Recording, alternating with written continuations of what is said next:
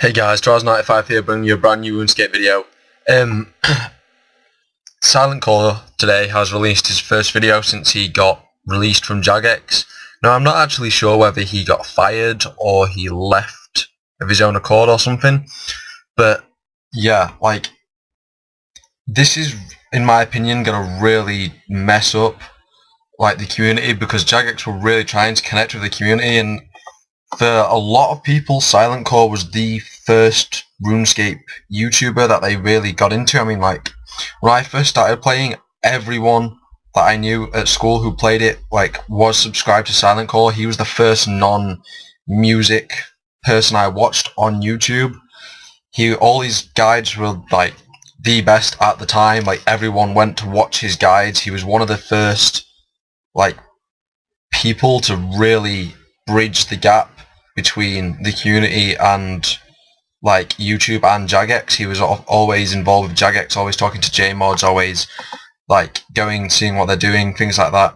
And he really helped the community come together.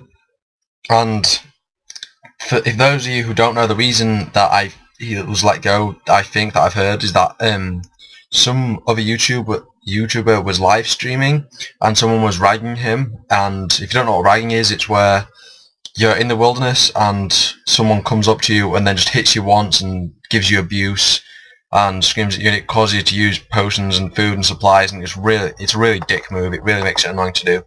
And Silentc0re killed the ragger on stream.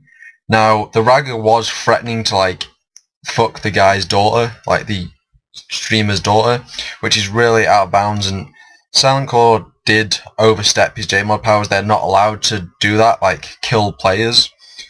But for them for him to be fired over that, over one one mistake like that, and to be fair, the guy was then banned anyway for abuse and saying what he was saying.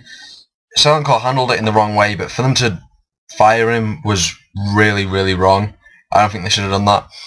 Um, yeah, that's pretty much all I've got to say for this video, guys. I'll have some PVM videos up for you tomorrow or the day after. I've got some recorded, but I just wanted to release this video to just really let you all know how pissed off I am at this because Silentc0re was one of the best YouTubers in terms of communicating with his fans and the community in general. So yeah, um, please let me know what you think in the comments below. If you have any other information, if I've said anything wrong about it in the video, please leave it in the comments below. So yeah, I've been Teraza95 guys. Please comment and subscribe. See you around.